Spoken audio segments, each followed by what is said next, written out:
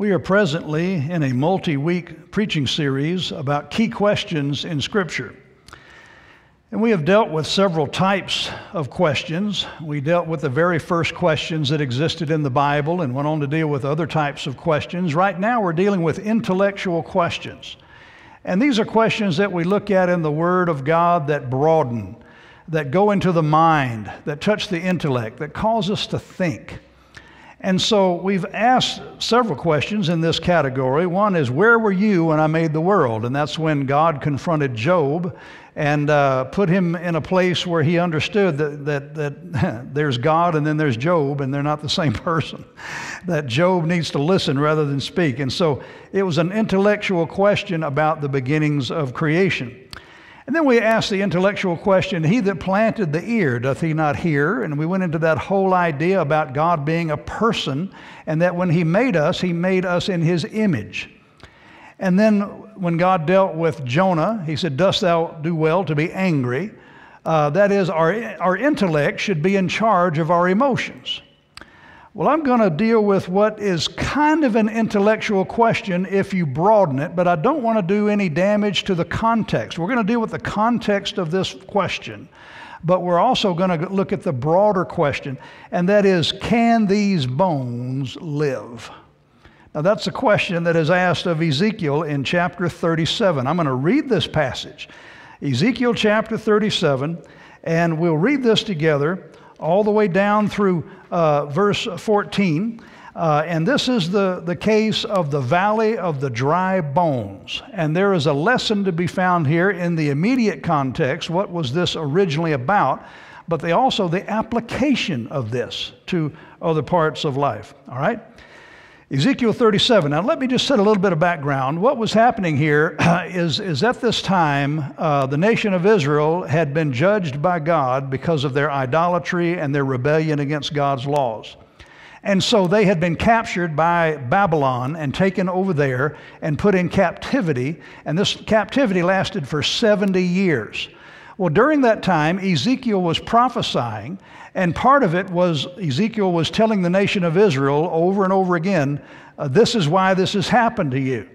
And then also giving them hope that there is a future past this present situation. So we come to chapter 37, verse 10. The hand of the Lord was upon me and carried me out in the spirit of the Lord and set me down in the midst of the valley which was full of bones and caused me to pass by them round about. And behold, there were very many in the open valley, and lo, they were very dry. Now, the description here is this valley is, is full of uh, dead people's bones, and they're completely bleached in the sun and dried out. There's no flesh on these bones, they're, they're just bones.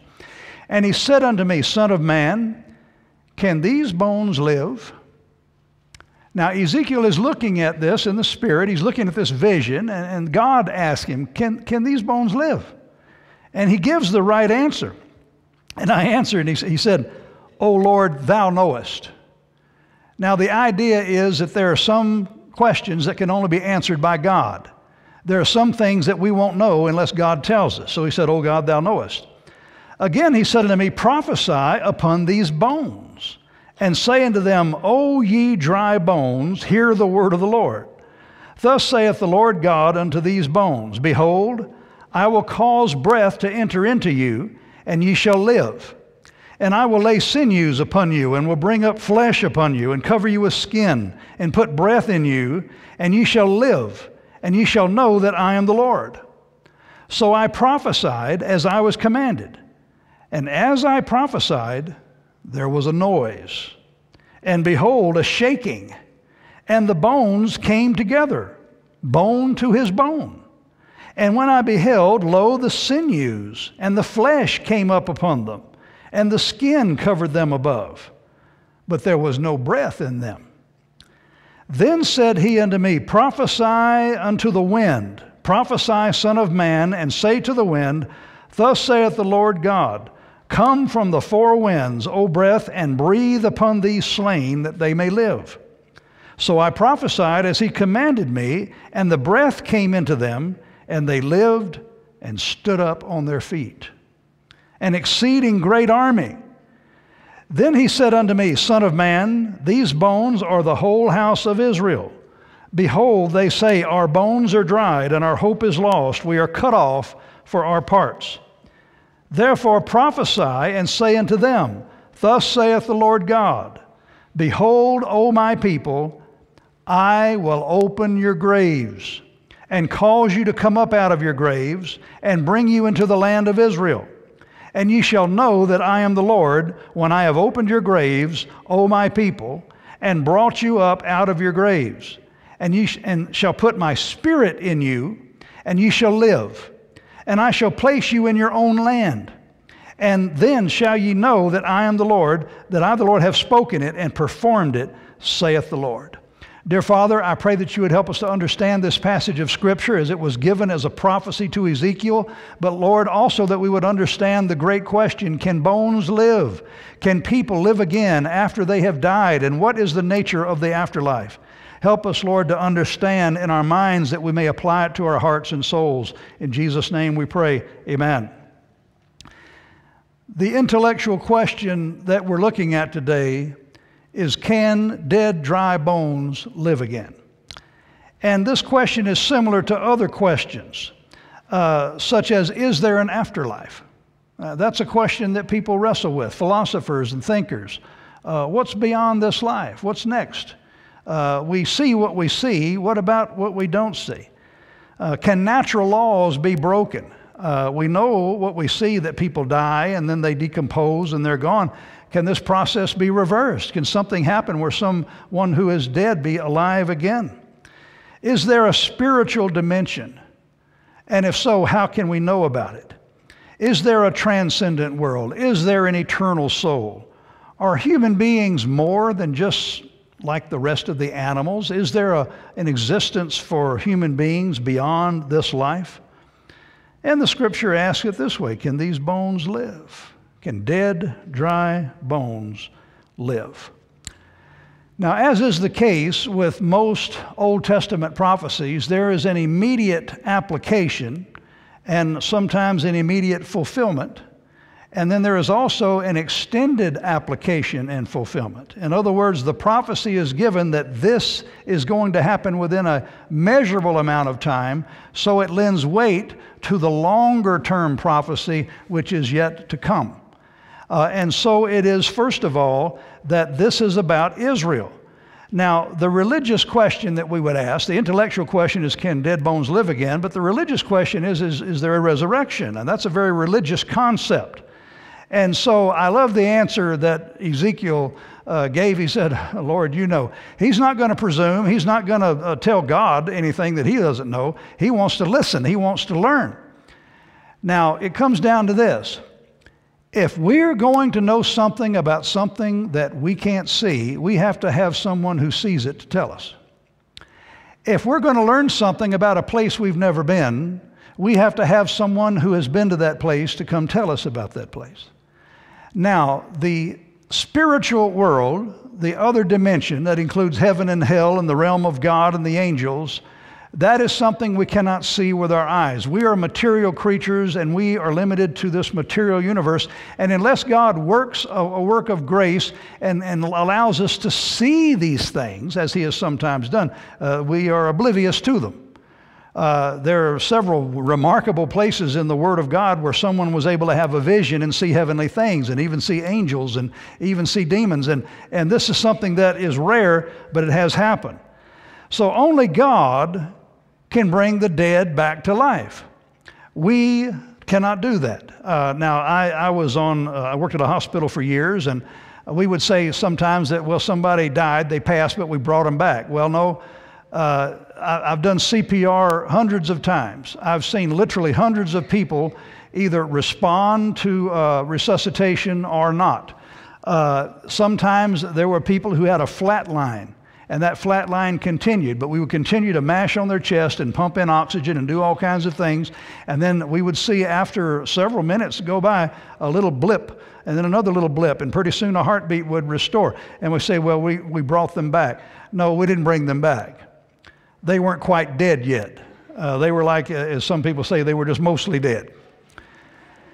If someone is all the way dead, there's nothing I can do mashing on their chest that would bring them back. They have not yet gone. Uh, I, I, do remember one instance where I was uh, doing CPR as, as I was on the crash team, as they call it, and I was uh, mashing on a fellow's chest, and you know, and pretty soon he began to speak, and he said, "Quit it, it hurts."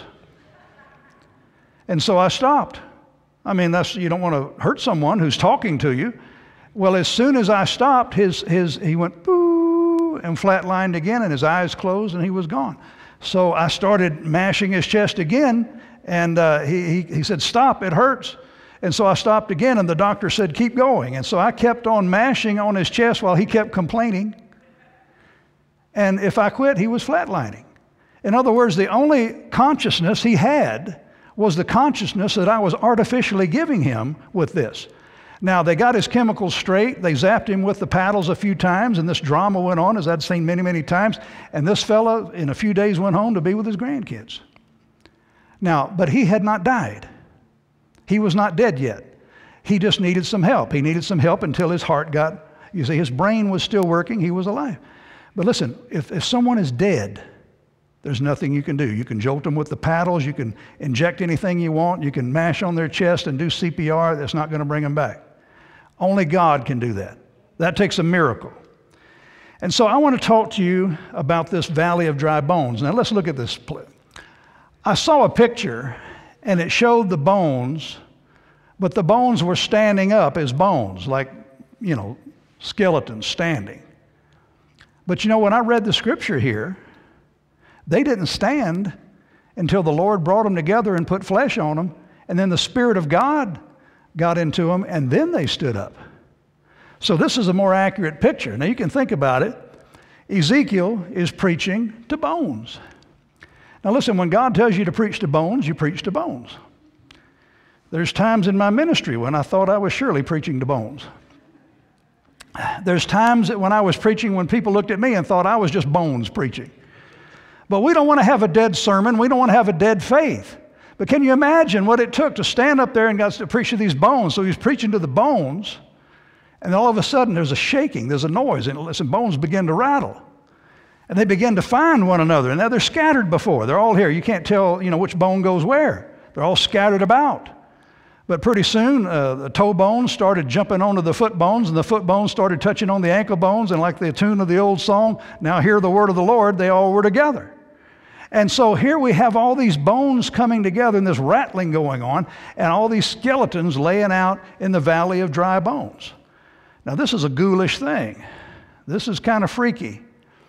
They had this display they would carry around the country for a time, and it was about the human body and they had uh, bodies there that were just bones, and they had some that had part of their muscle on them, and some that had part of their skin, but not all. It was kind of ghoulish, but the idea was to learn about the fascinating parts of the body and how we're put together. And it is an amazing thing, but it's ghoulish, isn't it? Isn't it kind of upsetting? But he's watching this, and the bones all find each other, and then the sinews, that is, the ligaments, attach themselves, and then the muscles are all there, and then the skin has covered them up uh, but they're, they're just laying there dead. Well, see, listen, listen. Those bones didn't gather themselves together. Those bones didn't just spontaneously regenerate sinews and muscle. Those bones didn't decide, I think I'd like to have skin again. No, this was God doing what He does. God has to take that which is dead and reanimate it. This is a work of God.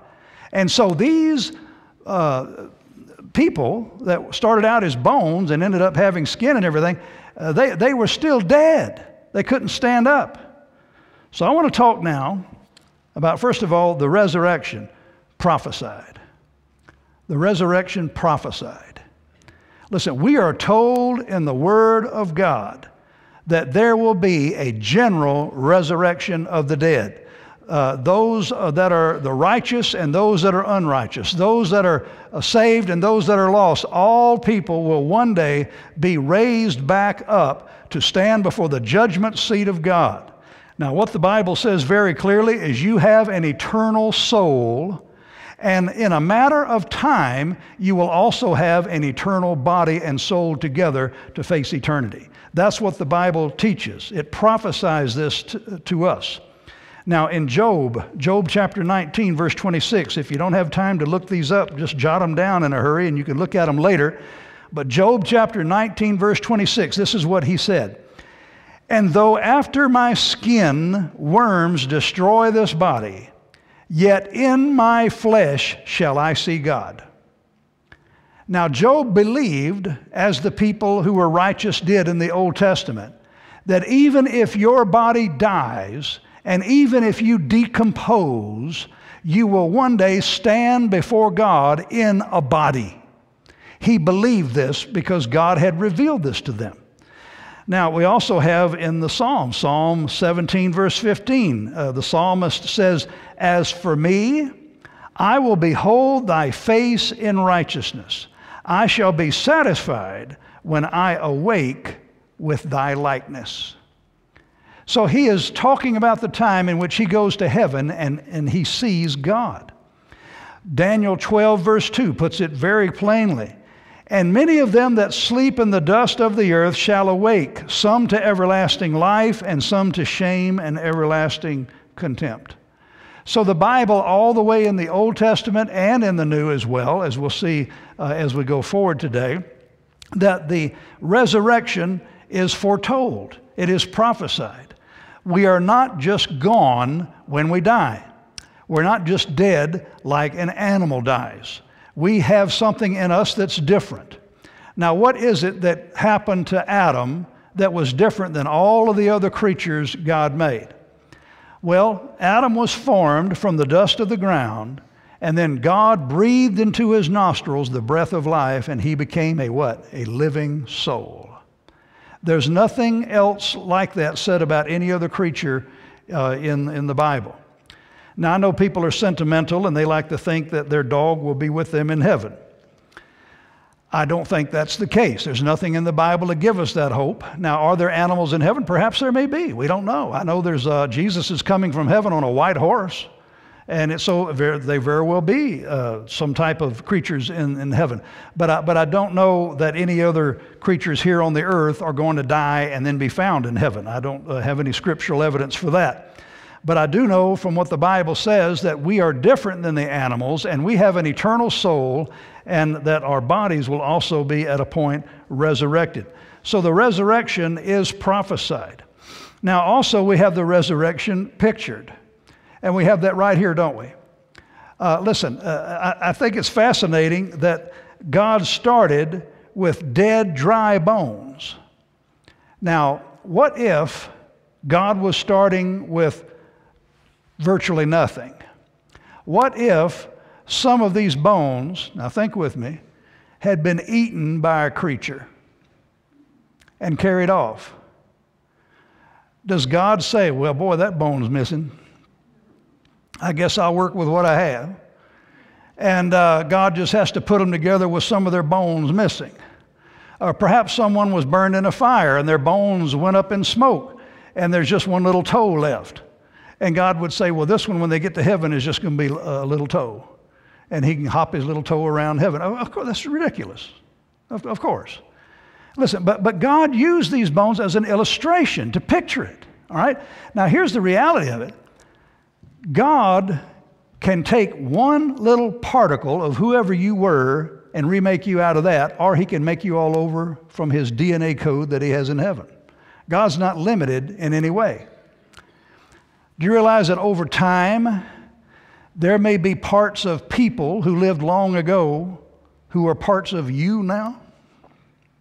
You don't like to think about it, but microscopic parts, molecules that might have been absorbed through a tree and into an apple, and then you eat the apple and you're eating the essence of that person who was in a coffin and the roots got the nutrition. I mean, I don't like to think about that, do you? But listen, when God decides to raise you up, He's not going to have to rob parts from me to make you. He's not going to have to rob parts from you to make me. God can have all of who you are without robbing parts from anybody else. If you were buried at sea and the fishes and the crabs ate you and carried you to the four corners of the world, God can remake you from wherever you were. God's able to do that. If you were incinerated or, uh, as people do today, uh, cremated uh, and went up into smoke and ash, God can haul you back uh, at, at will. It's not hard, God can do it. But now here we have a picture of it that that which is uh, in the natural uh, scope of things, the skin goes first, and then the muscles go, and then the sinews go, and then the bones are left. And if it's left long enough, even the bones will go. That's what happens. The bones just go to powder in time.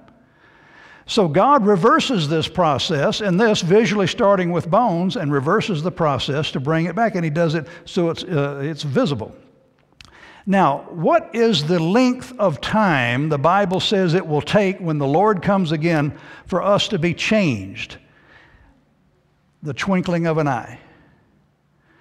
Now, as I understand the twinkling of an eye, some man gave it this uh, description the, this, the, the amount of time that passes between the time the light turns green and the fellow behind you honks his horn. But no, it's actually very much faster than that. Uh, a twinkling of an eye is the speed of light. It is as fast as light goes. So, God, when He decides to make you, boop, there you are. But here the process was observed. The bones came to the bones, the sinews and the muscles and the skin, and yet they're still dead. And they're not, listen, they're not going to stand until the Lord gives them life. Uh, a dead man can't stand up. This whole idea of zombies is ridiculous. You ever notice how people are obsessed with zombies? I don't know how many zombie movies there are, and zombie comic books, and zombie this, and zombie that. There's no such thing as zombies. If you're dead, you're dead. You're going to be dead until you're alive again, and then you're alive.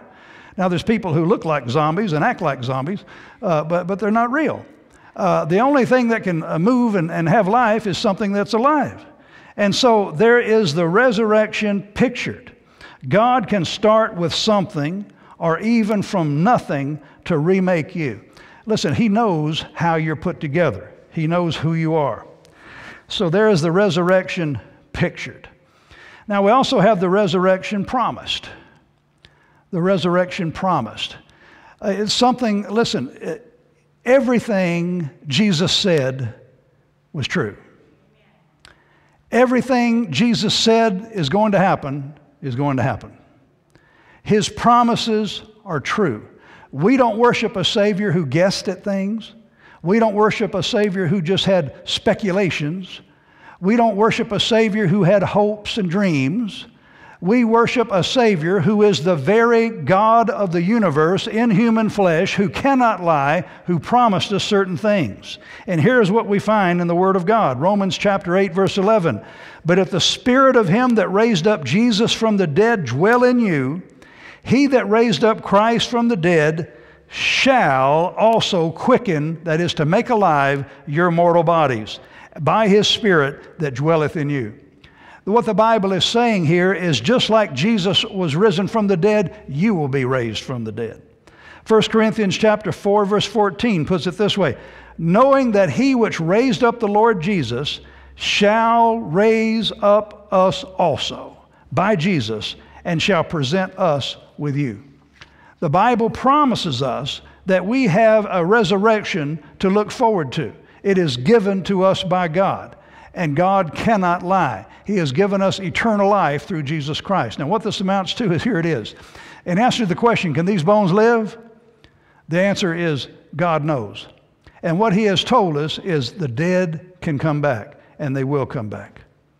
How many times have I stood at a grave and seen a casket lowered into the ground. And we've prayed this prayer ashes to ashes, dust to dust, and, and we give their body to the, to the ground, commit their soul to the earth to be, wait the resurrection. And we talk about those words, they mean something. I can remember one time I, I was called upon to do a funeral for someone who lost an infant, just a, a newborn. And uh, they, they, they had a little pink casket. It was a little girl that died right after childbirth, and it was the saddest thing you ever saw. And we were standing there uh, at a, uh, in a graveyard, and, and, they had that little bitty casket, uh, pink in color, and flowers all over it, and people crying everywhere. And uh, that mom was there, still weak from childbirth, and had a, a, a tissue up to her eyes and was crying. The, the, the, hopes and dreams that she had were lost, and, and she was about to commit to the ground, that little one that she had given birth to. But I was able to comfort her and let her know that this isn't the end. This is, we're going to see that this person is going to be alive in heaven. You'll see her one day. Uh, and I believe that with all of my heart, that the resurrection is promised. We will see those who have gone on before. And they say, well, will we recognize them? And I thought, well, I don't think I'll be dumber in heaven than I am now. Can you imagine going to heaven and, and not knowing stuff that, that you know here? I, I, I, would know people I know. Uh, listen, when, when Moses and Elijah appeared with Jesus, the apostles, uh, Peter, James, and John, they saw Moses and Elijah meeting with Jesus. Now, how did they know it was Moses and how did they know it was Elijah? Were they wearing labels? Had on the back of his jersey Moses? Elijah? No, they just knew. They just knew. Listen, there's something about you that makes you you. And it's not just your looks. Now, I can look at you and I can tell you from your looks, but in heaven, we'll know each other by our essence. There'll be something about you. Uh, you won't recognize me in heaven if all you're looking at is my looks, because I'll be pretty in heaven. I'll look better. I won't be wearing glasses. I'll have a head full of hair like Samson did. I'll, I'll be strong and fit, and uh, I'll even be able to sing. And if you were just looking for somebody like Marc, don't, don't be looking. But listen, whoever Marc is inside in my soul will still be me. And you'll know me when you get to heaven. I'll know you when you get to heaven. You'll be different. You'll be better, but I'll still know you. When I see my grandma in heaven, she's not going to be an old lady.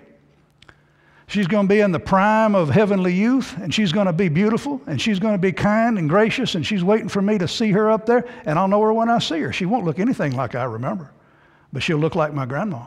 I believe that with all my heart. Listen, there were times, and this is interesting about Jesus, there were times when Jesus, after the resurrection, people who knew him didn't know him until he let them know him. And then they knew him. You remember the two that were walking with him on the road to Emmaus? They were talking with Jesus for a long time. He was just some person. They were talking, talking. Jesus was asking them questions and getting them to think. And so they went down, and, and Jesus was going to go further, and they said, Well, come, come spend the night with us. Stay with us. It's too long. Stay with us. So he turns in and goes with them, and they're going to have a meal, right? So Jesus takes the bread and he starts to bless it, and their eyes were opened. It's the Lord. And all of a sudden, poof, he was gone. Don't you just love stuff like that?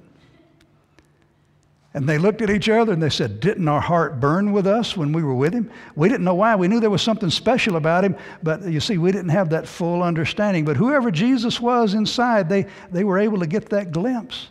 I'm just telling you, what the Bible tells us here in, in, in the, the promise of it is that we have something that God has told us is going to happen, and we are now supposed to have the resurrection presented.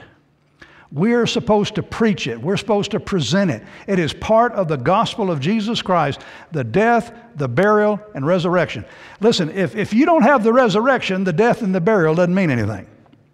If you don't have a Jesus who came back out of the grave after three days and three nights, all you have is just another interesting religious leader who made speculative things and may have been right and may have been wrong, ho hum.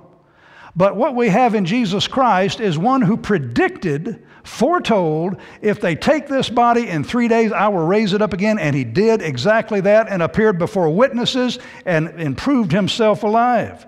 So he is the resurrection presented. 1 Corinthians chapter 15. Here it is. 1 Corinthians 15, verse 1 Moreover, brethren, I declare unto you the gospel. So here is the presentation of the gospel. Here it is 1 Corinthians 15.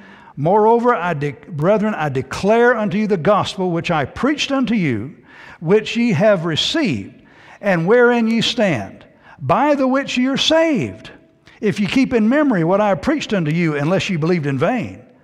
For I delivered unto you, first of all, that which I also received.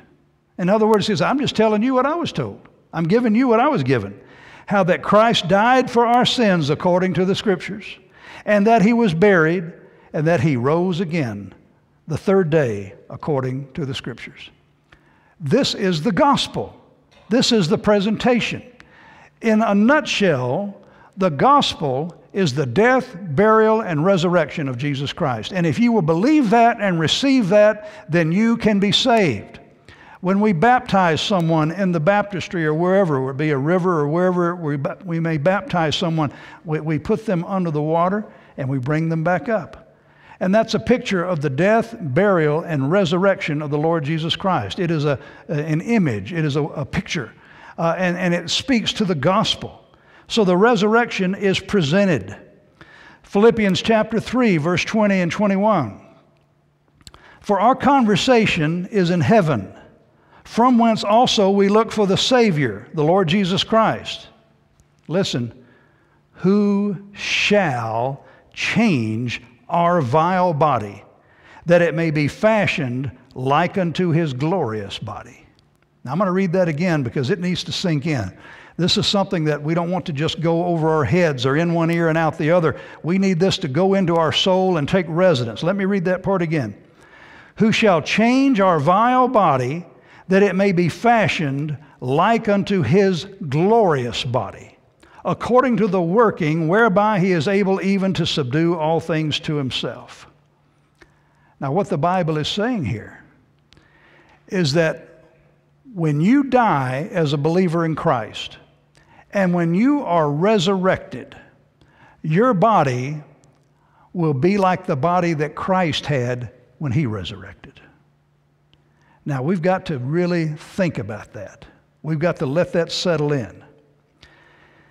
The Bible says in Romans chapter 6, verse 5 For if we have been planted together in the likeness of his death, we shall also be in the likeness of his resurrection.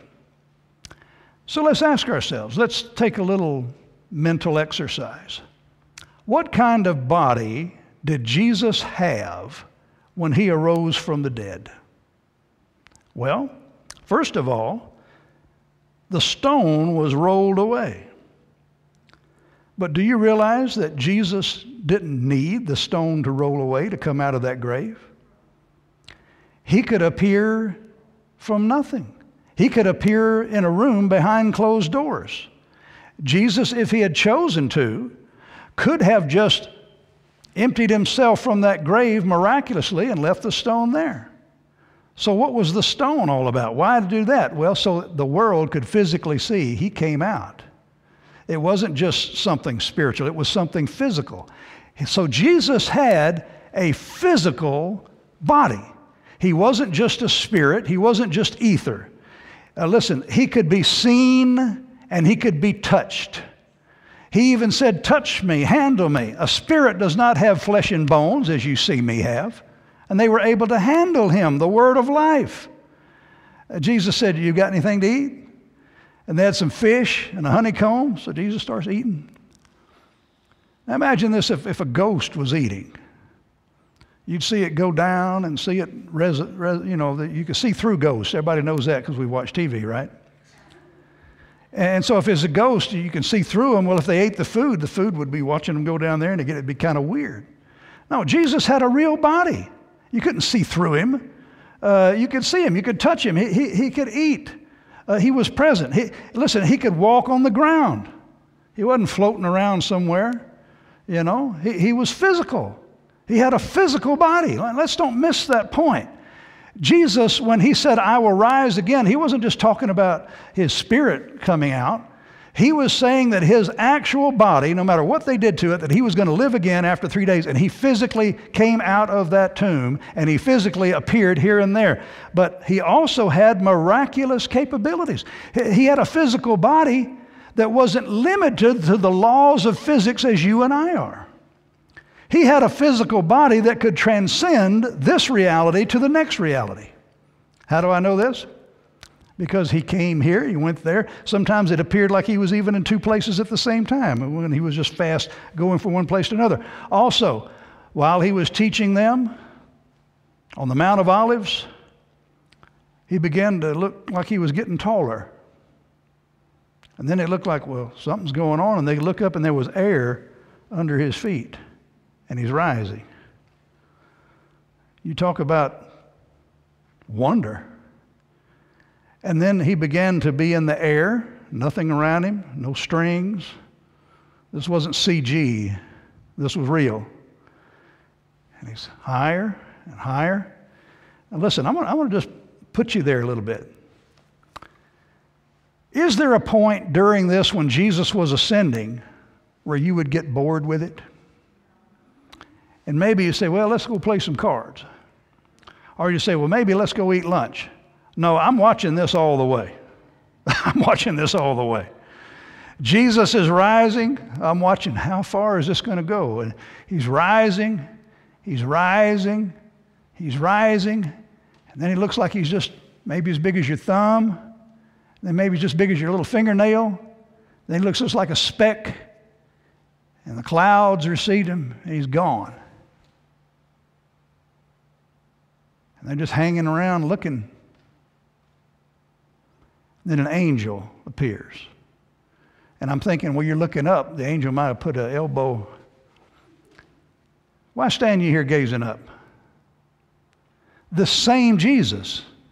The same Jesus. Now, now, now let's talk about the same Jesus. This Jesus who lived here with you, this Jesus who had a body that could be abused and could be beaten and, and could be bloodied and could be put to death, but this same Jesus who rose again the third day and came out of the tomb and appeared to you miraculously in a body that could appear uh, into this place or that place at will miraculously, this same Jesus who ye see now taken up away from you, this same Jesus shall come back to receive you so that you may be where he is. That's the promise of the resurrection. That is the presentation of the resurrection. This same Jesus is going to come again just like he left. Now, how did he leave? He left bodily. That's how he left. So, how's he coming back? Bodily. He left into the clouds. How is he coming back? With the clouds.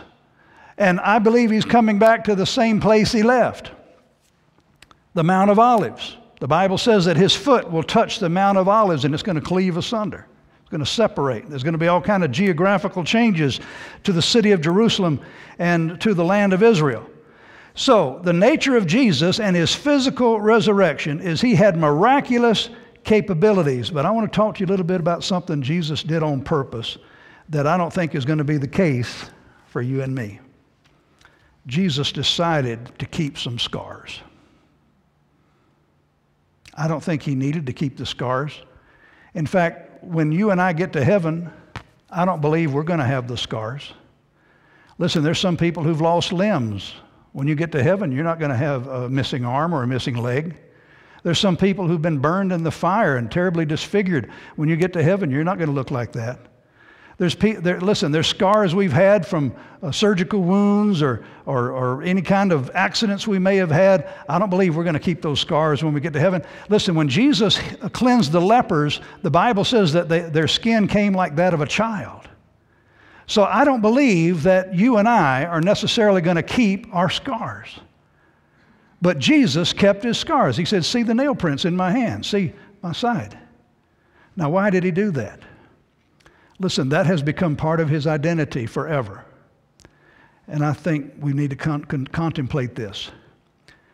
Do you realize that the only thing that we made in heaven, the only thing that human beings made in heaven, are the scars in the body of Jesus? We have made no other contribution. There's nothing in heaven that we have contributed and we have done other than the scars in his body. And I believe as we worship him and as we love him throughout eternity, we will forever be reminded of the price that he paid for our salvation, and we will be eternally grateful. Listen, Jesus won't even have a, a, a, pile of materials so that when we get to heaven, we can finish our mansion. He said, I go to prepare a place for you. And if, if I know Jesus, the carpenter that he was, when we get there, it'll be trimmed out. It'll be right.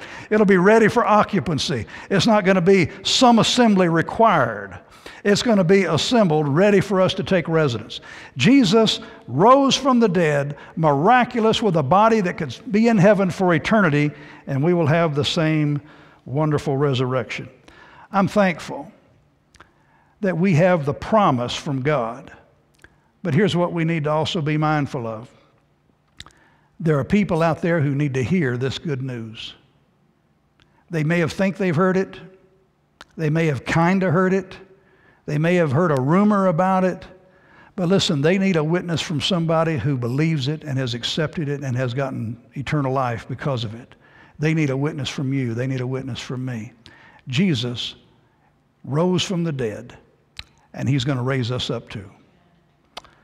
Dear Father, we thank you for the great truth of Scripture that there will be a resurrection, that this life isn't all there is. Lord, there's something more, something better, something eternal. And if we only understood it like we, like we should, we wouldn't worry so much. We wouldn't fret so much. We wouldn't have so much anxiety and so many fears.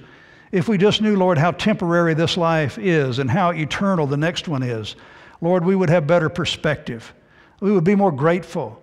Uh, Lord, we would be happier in the Lord and have more joy. Lord, help us to relish the wonderful thought that we have an eternity to look forward to. But Lord, we also pray for those who have not yet come to Christ in faith, knowing, Lord, that their eternity is fearful and bleak without salvation. And Lord, we owe it to them to give them a witness. For it's in Jesus' name we pray. Amen. Amen. God bless you. Let's